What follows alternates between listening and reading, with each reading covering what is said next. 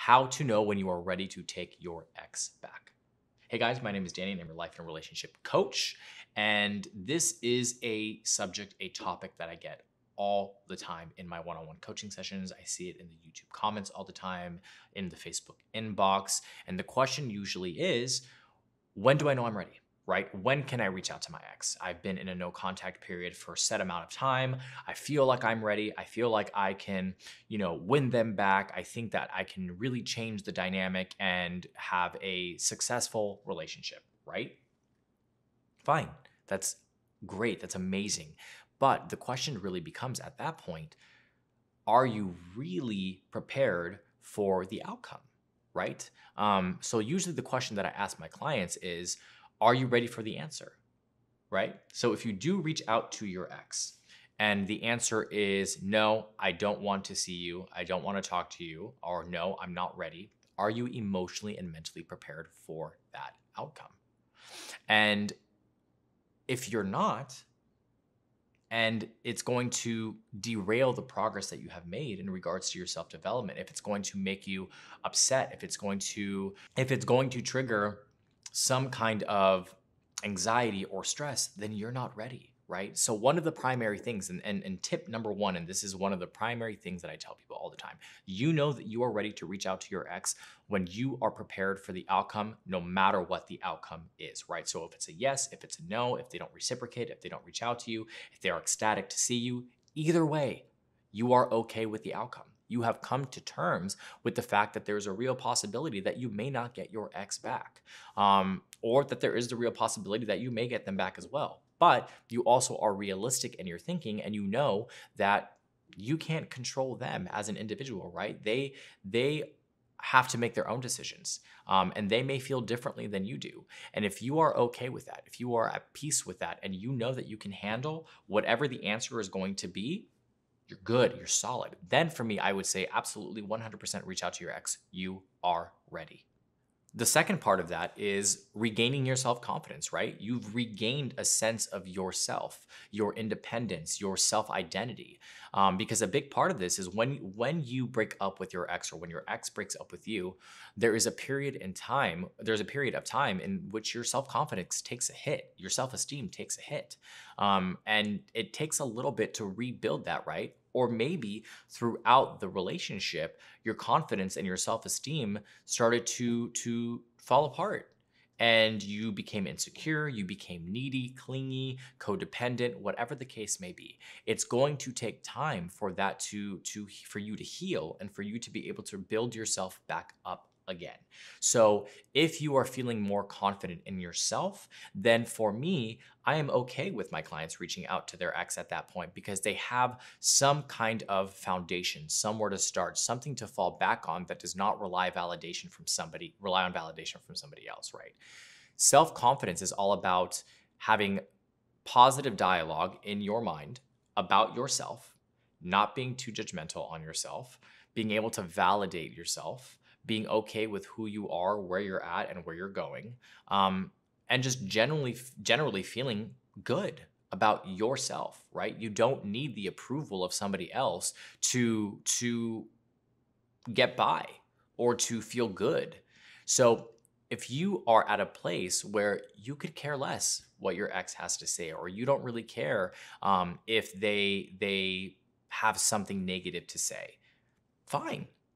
I'm not necessarily saying that they're going to say something negative or that they're going to be mean to you, but there's always the chance that the the outcome may not be what you are anticipating or what you are expecting. And self confidence really helps with kind of fortifying those emotions and, and allowing you to think from a more logical perspective as opposed to leading with emotion. Because when we lead with emotion, we make irrational decisions. And usually, what that does is that derails our entire self development process.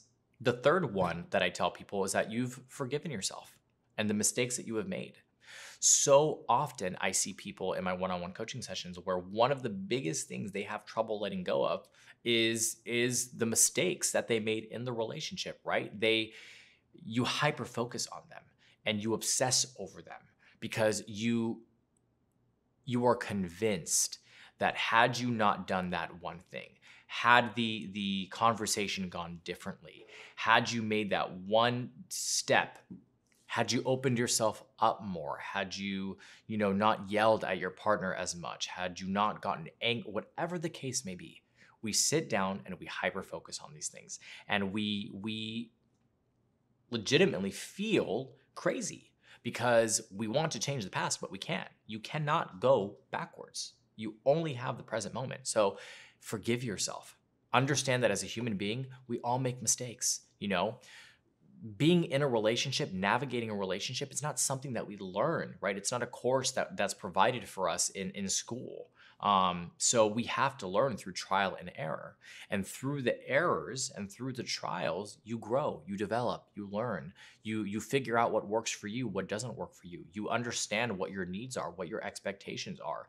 And from there, you're able to set healthy boundaries and all of that stuff. So really kind of changing your perspective and your mindset as right as well, right? Like the mistakes actually have a positive outcome because they teach you a lesson. Now, it's completely up to you how you want to apply that lesson. Um, if you choose to learn the lesson, and if you also choose to practically apply it the next time around, right? So whether it be with your ex and you have a second opportunity to be with them, or if it's in the next relationship. So again, just just forgiving yourself for any mistakes that you made in the past because at the end of the day, they're in the past. You can't change them. And the only thing that you can control is your present moment and look to the future for something better. The fourth part of it is that you've taken accountability for your actions, right? You are fully and consciously aware of the mistakes that you made, and you can say to yourself, yeah, you know, I messed up on that. And it wasn't a good idea. Um, I could have approached that differently. I could have said that differently. Um, I could have, you know, invested a little bit more time or whatever the case may be. And this kind of goes hand in hand with forgiving yourself.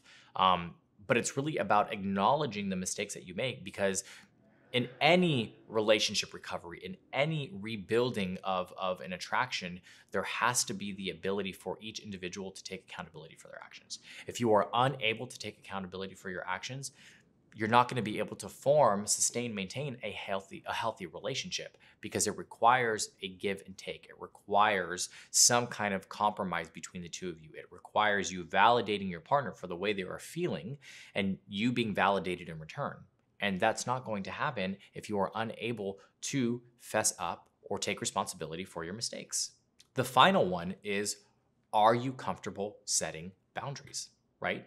Boundaries are so important in a relationship. And most people have a very negative uh, perspective or perception on what boundaries are. People think of boundaries as limitations, right? Um, as blockages, as as as negative. But at the end of the day, they're not. You know, setting boundaries in a relationship is incredibly healthy and it's actually highly recommended because what it does is it allows you to to maintain a sense of self identity right? Allow you to continue to operate as an autonomous human being and have freedom of choice and and love yourself and and express to your partner your needs and your expectations in a healthy way. And if you are unable to set boundaries, if you still struggle doing that, trying to get back with your ex, trying to rekindle a relationship, it is very possible that if you were unable to set boundaries in the first relationship with them, you're going to have difficulty setting boundaries in the second relationship with them. And you are potentially doomed to make the same mistakes. So, practicing during this period of time, during this no contact, of setting boundaries. And if you have gotten good at setting boundaries, then by all means, reach out to your ex it's fine it's it's it's it's it's time for you to to rekindle that connection so, a good way of practicing setting boundaries is with friends and family, right? During this period and seeing how good you get and seeing how comfortable you are and how uncomfortable you are. You know, it's going to feel uncomfortable in the beginning if it's something that you are not used to, but the more and the more you do it, the more comfortable you become and the more second nature it feels. Now, if for you, you're struggling with no contact, you don't really know how to navigate this no contact, and you just feel like you want to reach out to your ex, you feel like you're ready, all of those different types of things, and you just need a little bit more guidance or support, we do have a product that I would highly recommend for you, and it's called the Perfect Radio Silence, and you can find it in the product page um, or the product section of our website, and it walks you through how to structure your no contact period, the reasons for the no contact, goals that you should be setting, things that you should be working on, and, and really kind of creating a strategy for yourself so you feel like there is some kind of direction, some kind of roadmap so that you can be successful in your no contact period. Again, this is something that will, I guarantee you, will change your perspective, it'll change your mindset, and it will help you get out of this kind of limbo rut phase where you don't really know what to do. You don't know whether you should step right or you should step left. You don't know if you should take a step forward or a step back. So I highly recommend that product. Like I said, it is the, uh, the perfect radio silence, and you can find it in the products section of the website. If you like this video, if you're related to this video, please make sure you hit the like and subscribe button down below. I also love having open dialogue with people. So, if, you know, if there's any opinions that you have, any questions that you may have, um, maybe you've been in this circumstance before and you have some tips that really worked for you, please drop them down in the box below. I like to read as many of them as possible and I try to respond to as many as possible as well. Um, maybe you just want more detail. You want a little bit more information. You can visit us at www.withmyexagain.com where we have a multitude of different articles and blogs and videos related to this topic and many other topics as well. If you want to book a one on one coaching session, you can book directly with me or any of the other amazing coaches that we have on the team. Again, my name is Danny. I'm your life and relationship coach. I hope you're staying happy and healthy, and I'll see you soon.